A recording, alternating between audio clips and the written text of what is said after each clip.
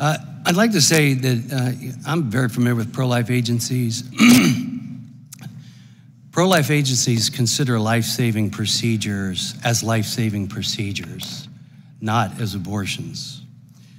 But I want to say that there's thousands of pregnancy centers across the United States today serving millions of people and providing critical support to mothers and fathers and the expecting child. Mothers choose to enter willingly and voluntarily into a pregnancy center. It is a freedom, it is a choice. No one is dragged in there, and no one is forced to continue service there.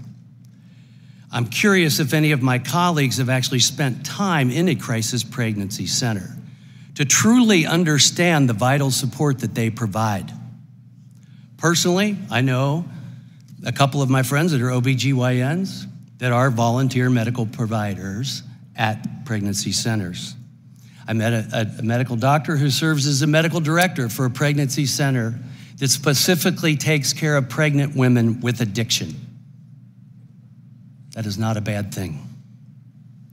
I was shocked to see what HHS has had to say, and it was just mentioned earlier. Meet the TANF purpose of preventing out of wedlock births it doesn't even say possibly reducing out of wedlock pregnancies.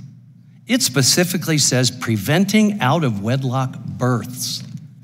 Frankly, I thought only a heartless country like China would callously and overtly and expressly prevent birth. To make it a goal to prevent birth. That needs to be changed.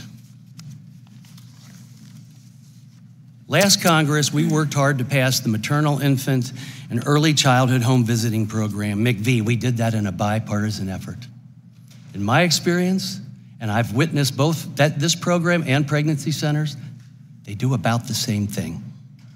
They support low income, high risk pregnant women and parents and their babies to enhance the overall health and outcomes for a mother and a child. Quite frankly, from what I hear today and what I've heard in the past from the other side, I can't believe we passed MICV in a bipartisan fashion. But thank you for having a heart at that time to pass that because they have the same goal, the exact same goal. Pregnancy centers want healthy mothers and healthy children, healthy Americans.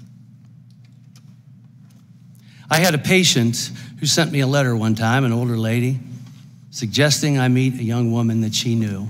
And she knew this young woman because she was a volunteer at the pregnancy center. I didn't meet that young woman until a couple years later. She's now my wife. She volunteered at the pregnancy center, and let me share a story with you.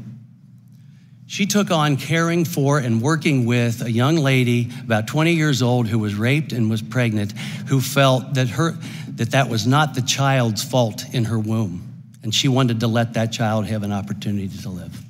That's a tough thing to do. My wife worked with her. This woman went on, had her child. She put the child up for adoption. About five years later, she gets married herself. That little girl was the flower girl in her wedding.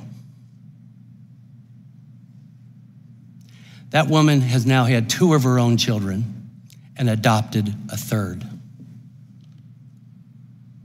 You tell me what is wrong with any of that.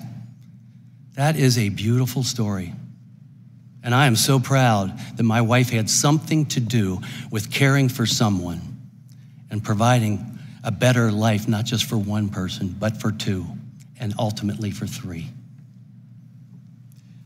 Let's not let HHS put an end to this type of beautiful work that's being done in Ohio, and especially for those who choose that option. I yield back.